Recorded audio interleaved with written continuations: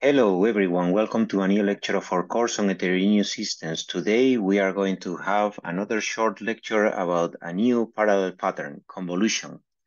Remember that in this course we have already covered a couple of parallel patterns. The first one was the reduction operation, an operation that reduces a set of values to a single value, and it has this uh, operation needs to have certain properties like associativity, commutativity, and identity value. Then we talk about uh, how to map these nicely onto a GPU and how to uh, uh, on how to implement it with a divergence-free mapping. In the next lecture, the past lecture, we talk about histogram computation. Histograms are frequently used um, for reducing the dimensionality and extracting notable features and in the in large input data sets. And the basic idea in a histogram is that we check the value, each, each possible input value, and then we um, uh, update uh, one bin in the histogram, we uh, uh add, we increment the counter associated to each bin of the histogram, depending on what's the value of the input. Remember that uh, for histogram calculation, we need to use atomic operations, and atomic operations serialize the execution. And one way of optimizing um, atomic, uh, the, the use of atomic operations is privatization, a technique that, in the case of the histogram, places different subhistograms for each of the thread blocks. In the case of the GPUs, these different subhistograms are calculated in parallel and finally be reduced altogether. Today, we are going to talk about another important parallel pattern that is convolution. Convolution has many applications. It's a widely used operation in signal processing, image processing, video processing, and computer vision. And basically, convolution applies a filter or a mask, also sometimes called a kernel, but here in this course, we are going to about this term kernel because it can be confused with CUDA or GPU kernels. So the idea, as I said, is to apply this filter or mask on each element of the input, that can be a signal, an image, or a frame of a video, to obtain a new value, which is a weighted sum of a set of neighboring input elements. And this is useful in image processing for smoothing, sharpening, or blurring an image, or finding edge in an image, or removing noise. These days, uh, convolutions are also very much used in machine learning and artificial intelligence, especially as convolutional layers in convolutional, convolutional neural networks or CNNs or ConvNets. Let's start simple. Let's start with a 1D uh, convolution example that is commonly used in uh, audio processing. Here we have our input. Imagine that this is an audio record composed by uh, many uh, consecutive elements, and we have a mask that we are going to apply. The mask is usually an odd number of elements, has usually an odd number of elements, and uh, in this case, in this example, is five. So in order to calculate one of these elements, for example, element P2 of the output, output, we need to put the mask on top of the, uh, center the mask on top of the element for which we want to calculate the, out, the output. We perform partial products, element-wise multiplication.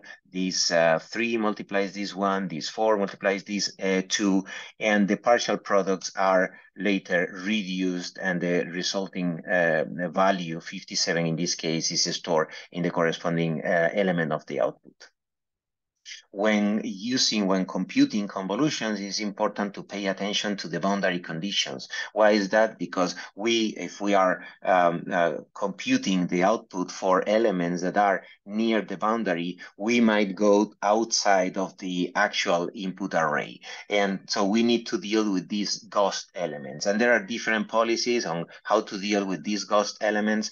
Uh, one possibility is to uh, consider that they are zero as uh, is the case in this example, or replicate boundary values uh, or uh, other approaches. So in this case, we basically do the same. We would be uh, multiplying these three of the mask with the ghost zero, so the partial product is zero, then we perform the final reduction and obtain the output. This is 38 in this case. Here you can see a simple 1D convolutional kernel with a boundary condition. Um, there is uh, one index uh, for uh, each um, element of the output, each of them assigned to a different thread. And um, we need to compute the address of the first neighbor and then uh, go one by one over all the elements uh, uh, of the over the, the number of elements that the mask has checking the boundaries in order to not go outside of the boundaries of the input array, but then performing the uh, partial multiplication with the uh, corresponding element of the mask and the element of the input array and the accumulation in this p-value uh, array, that uh, p-value um, variable that will be in a, in a uh, register, and finally store the output onto the uh, corresponding element of the output array. Uh, remember that the memory in the GPU architecture and remember that one of the memory spaces in the GPU memory hierarchy is the constant memory and this constant memory is cached. There is a, a specific cache space inside each uh, GPU core that is called the constant cache and in this case this constant cache can be very useful to store the mask because the mask in the end is constant. It doesn't change and it's going to be useful to many threads running uh, on the uh, same SM or on the same uh, GPU core. So we can store the mask in the constant memory for several reasons. First of all, because it's constant, also because it's small, and also because it's accessed by all threads. And uh, the good thing of the constant memory is that it is cached inside each GPU core, and that's why it's uh, fast. And it's particularly fast when all threads of a warp access the same value. And that's actually what's going to happen when we uh, execute the code for the kernel for the uh, convolution. So the, what we need to do to use the constant memory is to declare the mask as a global variable with the corresponding constant qualifier, and then initialize the mask from the host. This is done by using this uh, and copy to symbol where we have the destination, that is the address of the mask in the uh, GPU memory, the source or the address of the mask in the CPU memory, and the corresponding size of the mask. And here you can see the code with boundary condition handling and constant cache for uh, M, the code itself, the kernel code itself is basically the same as we saw before. The key difference is that now the mask is in the constant memory. Uh, however, we have to use this with caution. And the reason is that the constant cache is small. So it's typically 64 kilobytes. So uh, we cannot try to fit something that is much larger than that, um, especially because in that case, we are not going to have the advantage of the data being cached. Um, the, remember that in this course we have uh, already discussed tiling or blocking as a technique to take advantage of data reuse. We talk about uh, tiling in shared memory. This is uh, the, the, an example of uh, tiling for an image where we are applying a Gaussian filter this idea of tiling for sure can be applied as well to convolution. And for example, in the case of the one key uh, 1D convolution, where we basically partition the input uh, and the output uh, uh, across the multiple thread blocks that are going to uh, run this computation. So there are different tiles these tiles can be in the shared memory, can be on chip, uh, including the halos, including these boundaries that we need to compute the corresponding uh, element, those for the corresponding the outputs for those elements that are close to the uh, boundaries. These are the halos. And uh, the first thing that we will have to do is load in the, the necessary part, the tile itself uh, of the input into the uh, shared memory. And to do so, we have to, I mean, here you have three consecutive slides explaining how to load first the left halo, then how to load the uh, elements in the middle, and then how to load the right halo, doing the corresponding address calculation and checking the boundaries in order to not go uh, beyond the part of the input that we really need. I will leave this here for your own study. This slide is about the uh, how to load the left halo into the shared memory. These are the uh, internal elements uh, of the uh, of the tile itself, and this part here is for the right halo. And this is the entire kernel for the tile 1D convolution. As you can see, first of all, uh, obtaining the index of the output element that is related to the um, uh, block ID, block dimensions, and the thread ID of the uh, uh, of the corresponding thread that is going to compute uh, each element of the output. Here we declare the shared memory tile.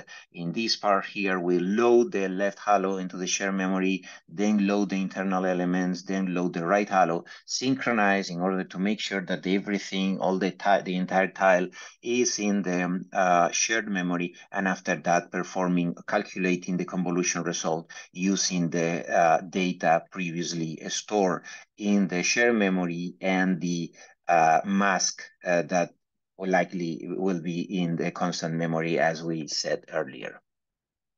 Uh, tiling is also uh, very useful in 2D convolution, and we have uh, discussed this, uh, I mean, this uh, specific example of the Gaussian filtering. We already mentioned it in a, in a previous uh, lecture. And this tiling in 2D uh, convolution is especially useful in the convolutions that are done in machine learning. Convolutions, by the way, machine learning are pretty useful, uh, even though they are have been traditionally used for feature detection in image processing. They can also be used as neural network layers, as we mentioned already, and they have some inherent advantages over other types of layers, like fully connected layers that we can find in multi-layer perceptron. Uh, the one reason is that they use uh, only local weights because they don't need to access um, weights from uh, the whole image, but just a concrete part of the image. Uh, because they compute only a window around the element of interest, as we have seen uh, in the um, in the previous examples of convolution. And the good thing is that because the these uh, weights, these uh, total weights that need to be used are relatively small, this mask is relatively small, it can easily fit in on chip memories. That's why tiling techniques are being uh, uh, uh pretty much useful here, uh, either in shared memory or in constant memory, as uh, we have also seen. And here you can see another example of the 2D convolution, basically placing the filter or placing the mask on top of the uh, input uh, element. In, in the case of, a, of a, um, uh, CNN, this would be the input feature map. We compute partial products, we perform the final reduction and obtain the element uh, in the output layer. And here the code is incomplete, but you can uh, see a, a simplified uh, basic convolution layer forward kernel. Uh, the, first of all, uh, uh, obtain the indices of the output feature map and then uh, sum over all input channels. And here uh, we loop over the k by k filter, performing the multiplication and accumulation operation. And in the end, uh, obtaining one value that goes to the output feature map. Uh, convolutions can be very efficiently executed in GPUs, but especially uh, efficient if they are uh, converted into matrix multiplications because they are uh, compute intensive parts and GPUs are very well optimized for matrix multiplication. And we already know some of the tiling techniques for matrix multiplication. We have explained uh, how to do tiling in shared memory in a previous lecture. So this idea of converting convolutions of a convolutional layer into a matrix multiplication can help to accelerate the execution and also helps to keep the level of parallelism stable across CNN layers. We will talk in more detail about this in the next lecture, but here you can see a, a very simple example of how to uh, uh, turn one convolutional layer into a matrix multiplication. Basically, uh, uh, we need to unroll the input features and unroll the convolutional filters and place them uh, in the shape of a matrix. If you take a look at this uh, uh row of the of this um, uh, uh, of this um, matrix here, you can see that these four elements here correspond to the first of these filters.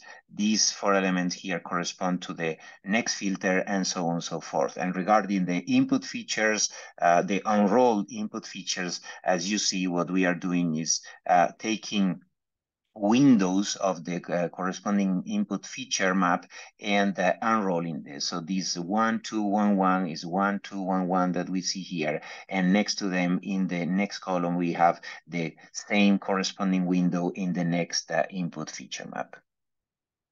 So this way we can compute the uh, convolutional layer with the matrix multiplication, make it more efficient and, and, and, and higher performance and on GPUs. We will talk in more detail in the next lecture about how to do so.